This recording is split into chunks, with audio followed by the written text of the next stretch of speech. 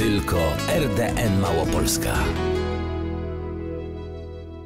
Dzień dobry w samym środku tygodnia, prosto z pięknej, uroczej Sądecczyzny, choć dzisiaj skropionej deszczem. Grzegorz Biedroń, prezes uzdrowiska Krynica Żegiestów. Dzień dobry. Witam panią redaktor, witam słuchaczy radia RDN. Już ustaliliśmy, że nie prosto z Krynicy dzisiaj akurat, a z Limanowej, gdzie pan mieszka, ale codziennie pokonuje pan trasę Limanowa-Krynica do pracy. Tak, no nie jest to duża odległość, bo około 60 km, no, No, ale ponieważ w mamy, mamy przyjemność e, mieszkać e, w pięknych górach, więc trochę przełęczy po drodze górskich, malowniczych jest. A dzisiaj z Limanowej do Tarnowa, jak długo pan jechał? Czyli dosyć, e, dosyć szybko, może ciut za szybko, bo jechałem niecałą nie godzinę mówić 20. głośno, bo może policja słucha. Do, dokładnie. E, No oczywiście w- w prace budowlane, drogowe w Tarnowie troszkę Mhm. spowalniają, no ale ja traktuję to jako dobry znak, bo e, znaczy to, że jednak ten, ten, ta sieć drogowa w centrum e, Tarnowa po tych problemach będzie znacznie lepsza. To wcześniej pan wstaje każdego dnia? No, czy to jest e, normalny e, tryb Mhm. życia, także no, jestem daleki od narzekania na, na wczesne wstawanie. Tym bardziej, że to jest ciekawe wyzwanie kierować dużym uzdrowiskiem, e, cieszyć się, jeżeli coś się udaje e, zrobić i, i pewno kiedyś będzie czas na odespanie i taki e, odpoczynek. No właśnie, a propos, z wykształcenia historyk, były burmistrz Limanowej, radny PiS Sejmiku Województwa Małopolskiego. Ta nominacja na stanowisko szefa dużej spółki uzdrowiskowej, ja pamiętam, ona wywołała no takie niemałe y, zamieszanie, różne komentarze. Jestem ciekawa dzisiaj już po kilku miesiącach od sprawowania tej funkcji, czy reprezentantowi opcji rządzącej jest troszkę łatwiej kierować taką dużą spółką, załatwiać sprawy na co dzień po Czyli prostu. Pewne, pewne uzupełnienie. No, w zeszłym roku spółka no, przez wiele miesięcy nie miała prezesa, miała Mhm. siedem konkursów. A wcześniej e, roszady personalne. roszady personalne, więc jak gdyby no, na pewno nie byłbym zainteresowany wchodzenia do uzdrowiska, w którym niezależnie od e, sympatii jest taki czy inny e, prezes. Po prostu spółka przez dłuższy czas nie miała już e, prezesa i moje, e, moje, jak gdyby moja, osoba pomogła rozwiązać ten pad, który dla uzdrowiska był rzeczą no, bardzo niedobrą i, i pod względem PR-owskim e, uzdrowisko w sposób taki niezasłużony było e, z tego powodu krytykowane. Natomiast jeżeli chodzi już o ten okres e, e, kilku miesięcy, to uważam, że to był dobry okres dla uzdrowiska i, e, i jeżeli chodzi z kolei o te kontakty z różnymi, powiedzmy, instytucjami, czy, czy, czy z władzami i tak dalej, to ja przyjąłem zupełnie inną taktykę. Bo do tej pory w uzdrowisku od kilkunastu lat, czy tam od e, nawet dwudziestu uważano w ten sposób. My nie musimy się przejmować e, gospodarowaniem, nie Bo co, musimy bo i tak do nas przejmować się... przyjadą? Nie, bo jeżeli będzie bardzo źle, to sprzedamy jakiś e, Aha, obiekt, będziemy sposób. mieli pieniądze na rok, dwa funkcjonowania, a jak nie, no to będziemy prosić premiera, ministra, niezależnie od tego, czy to będzie premier z SLD, czy to będzie premier z Platformy, bo na przykład Ministerstwo Skarbu kierowane przez pana ministra Grada takie zaszczyki finansowe dla uzdrowiska dawało i po prostu rząd nas e, podratuje. Ale ma pan dobre relacje z opcją rządzącą? Znaczy ja, Bo to też ja jest jestem, i jestem osobą, która, która funkcjonuje, która funkcjonuje w, w samorządach i w polityce od, od dwudziestu kilku lat. W związku z tym No bo mam trzeba kogoś znać, żeby coś doskonałe załatwić prostu. relacje z wszystkimi e, politykami, oczywiście z, m, oczywiście z obecną władzą e, tym bardziej. Natomiast ja się nie skupiam na współpracy e, personalnej z przedstawicielami, czy to Sejmiku, gdzie jak wiadomo rządzi Platforma i Polskie Stronnictwo Ludowe i moje relacje z członkami zarządu są świetne, czy to z, z panią premier i ministrami. Ja skupiam się na, na pracy w uzdrowisku. My nie możemy e, jak gdyby zaniedbywać rozwoju uzdrowiska, a potem z kapeluszem żebrzaczym, jako, jako osoba Dajcie, dajcie, dajcie pomagajcie, ratujcie, no bo to jest piękne uzdrowisko, bo szkoda, no bo niestety grozi likwidacja miejsc pracy. To jest taka mało poważna, to byłoby takie bardzo mało poważne podejście. No właśnie, panie prezesie, pan przejął tę spółkę mm, w takiej trudnej sytuacji, jak mówiłam, w nie najlepszej kondycji wizerunkowej, e, po konfliktach najróżniejszych, po sporach sądowych wreszcie. Jestem ciekawa, jakie były te pierwsze decyzje personalne, czy będą jeszcze być może ważne decyzje personalne. Znaczy, ja jestem przeciwnikiem jakichś radykalnych ruchów e, kadrowych. Chciałbym. e, Ale nie każdy jest pana przyjacielem. To zdecydowanie, zdecydowanie, jeżeli się próbuje coś zrobić, no to rzeczywiście nie ma się wokół siebie tylko e, przyjaciół. Ja raczej staram się zaufać ludziom. Oczywiście zmiany kadrowe są e, niezbędne, ale na zasadzie bardziej e, poszukiwania osób, które wzmocnią pracę, które, które e, Czyli nie pomogą. zwalnia pan, a przyjmuje do pracy? Dokładnie, z tym, że oczywiście w ciągu najbliższych dwóch, trzech lat, ponieważ załoga, która pracuje w uzdrowisku, bardzo często jest w okresie już przedemerytalnym, to te zmiany kadrowe będą, ale w sposób naturalny i to też będzie pewna szansa odmłodzenia e, pracowników, pewnej nowej energii, nowej wizji. No jest to zrozumiałe.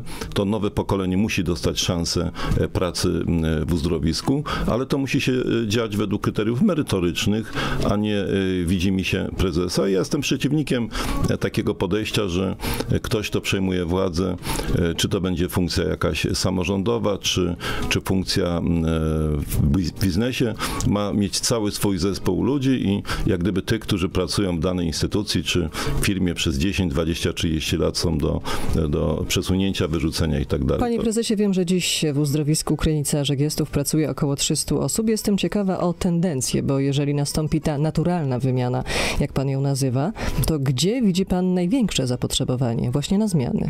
W Znaczy, na, dziale? Na pewno w- podnosi się e, i wymagania, i oczekiwania, jeżeli chodzi o opiekę zdrowotną. My zapominamy, że sporo nam się udało w Polsce osiągnąć w ostatnich latach. E, Wydłużenie długości życia.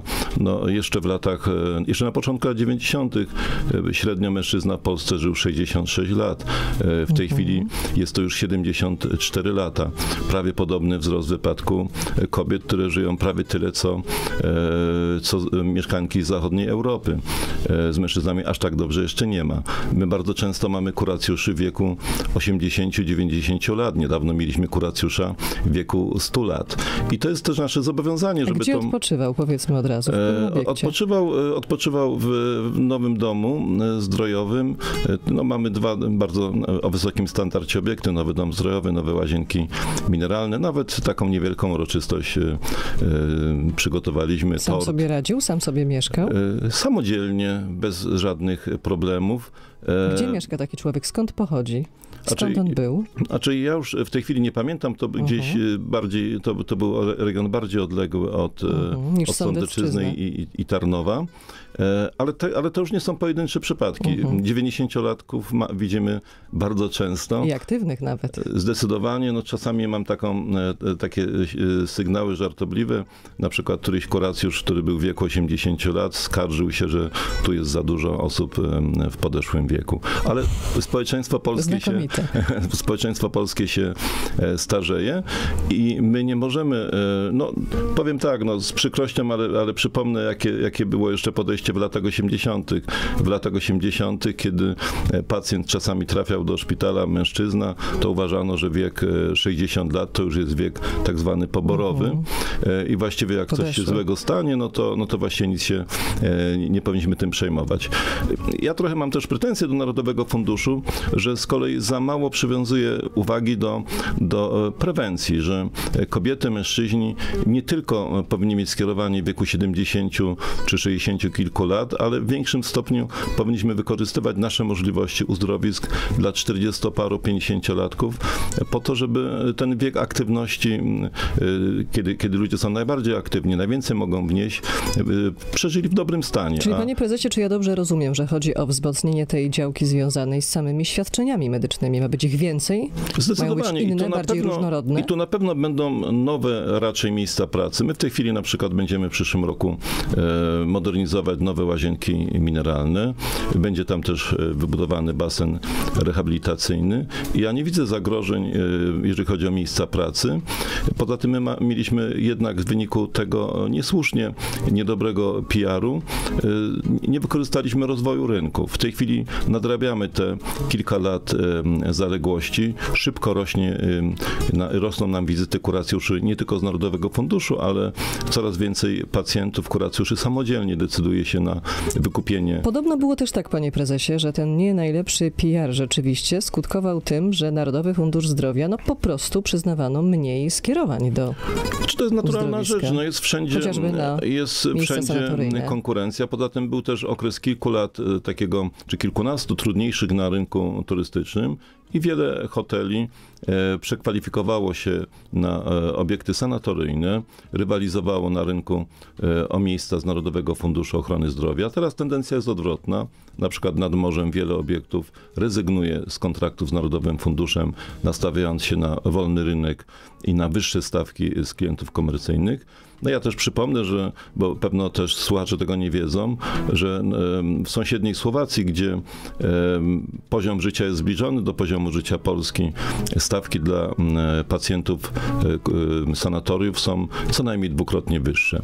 E, czyli my, my funkcjonujemy w bardzo trudnym, mhm. konkurencyjnym środowisku i też logiczne jest to, że pewne potknięcia wyolbrzymiano i, i, i wskazywano. To... Panie prezesie, pana poprzednicy byli prezesami dość krótko. Jest na dłużej? Znaczy, no ja sobie oczywiście nie, to nie jest tylko moja decyzja, to jest decyzja i Rady Nadzorczej, oceny mojej pracy przez e, również ministerstwo. Tym niemniej, no tendencje są bardzo, bardzo interesujące. E, wyniki się regularnie z miesiąca na miesiąc poprawiają. To nie jest reguła w tej Ta poprawa tej wyników finansowych to był jeden z celów i także takich zadań, wyzwań dla pana. Jakie one są dzisiaj po przejęciu stanowiska, po kilku znaczy, miesiącach? Znaczy tak, już zeszły rok był zamknięty e, bardzo przyzwoitym e, wynikiem. To był spory zysk przekraczający milion złotych. W tym roku ten wynik na pewno poprawimy w skali dwucyfrowej. Z tym, że od razu zastrzegam się, że my mamy tak wiele potrzeb, dlatego że nasze obiekty są obiektami bardzo ciekawymi, historycznymi, ale w związku z tym wymagającymi większych nakładów niż zwykłe sanatoria budowane, w latach 60. No jest na przykład 70. taki bardzo ciekawy rzeczywiście obiekt w Krynicy Zdroju, nazywa się Patria. Przed laty został wybudowany przez znanego artystę, multiartystę Jana Kiepurę. Będąc ostatnio w Krynicy, relacjonując festiwal Kiepury, rozmawiałam z mieszkańcami, z turystami, no i oni pytali, panie prezesie, kiedy remont zniszczonej Patrii? Bo wygląda źle, mówiąc znaczy, delikatnie. Pe pełna racja. Patria oczywiście udało nam się troszkę ożywić ten obiekt, obiekt w tym roku. Mamy więcej e, gości, więcej e, turystów, ale, ale zdecydowanie przygotowujemy się do e, dużego remontu. To, to musi być kompleksowy remont. Kiedy on może nastąpić? Znaczy na pewno nie wcześniej niż w drugiej połowie przyszłego roku, dlatego że, że na początek przyszłego roku planujemy właśnie modernizację nowych łazienek mineralnych. No i praktycznie nie, nie, możemy wyłączyć z czterech obiektów, e, praktycznie wyłączyć dwóch ze świadczenia usług turystycznych. I bezpośrednio po zakończeniu e, modernizacji nowych łazienek mineralnych planujemy przystąpić do, e, do modernizacji i rekonstrukcji w dużej mierze e, Patrii. E, mamy przygotowany plan funkcjonalno-użytkowy.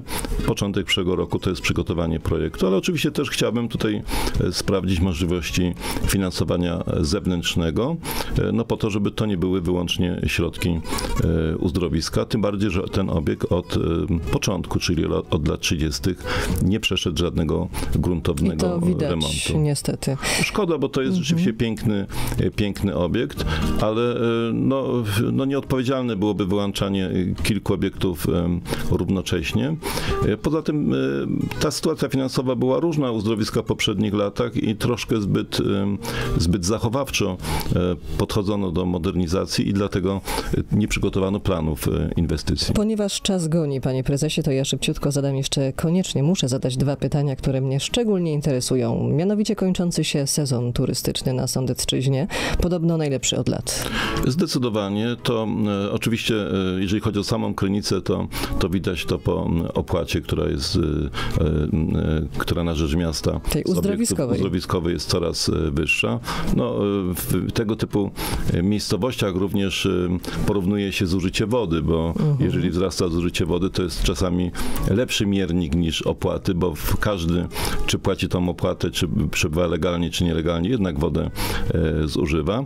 W naszym obiekcie obiekcie, w naszych obiektach mamy obłożenie w tej chwili z reguły około kilkanaście procent wyższe niż e, w poprzednim roku i staramy się tą szansę związaną z wyższym poziomem życia mieszkańców, z większym e, przywiązywaniem do, do, przywiązaniem do zdrowego trybu życia wykorzystywać. No mamy też e, oczywiście przewagę nad, e, nad innymi tego typu uzdrowiskami, że dysponujemy wodami leczniczymi, jesteśmy producentem e, wody Kryniczanka i oczywiście tej części też nie zaniedbujemy i zyski ze sprzedaży wody będą trafiać na rozbudowę i modernizację. Panie prezesie, dziękując za rozmowę w poranek, zapraszam już od razu na kolejną rozmowę, dlatego że region tarnowski to bardzo, jakby to powiedzieć, bliźniaczy, w zasadzie tożsamy region z Sądecczyzną. Bardzo wiele osób popołudniami, weekendami wyjeżdża właśnie tam, tam odpoczywa, bo to piękne miejsce. To proszę dać się niebawem zaprosić do radia w Tarnowie. Z dużą przyjemnością, bardzo cieszymy się z wizyt Tar- z Tarnowa i też bardzo dobre relacje mamy y, z kuracjuszami właśnie z rejonu Tarnowa. Grzegorz Biedroń, prezes uzdrowiska Krynica Żegiestów. W takim razie do usłyszenia i do zobaczenia. Dziękuję pani redaktor, miłego dnia dla słuchaczy RDN.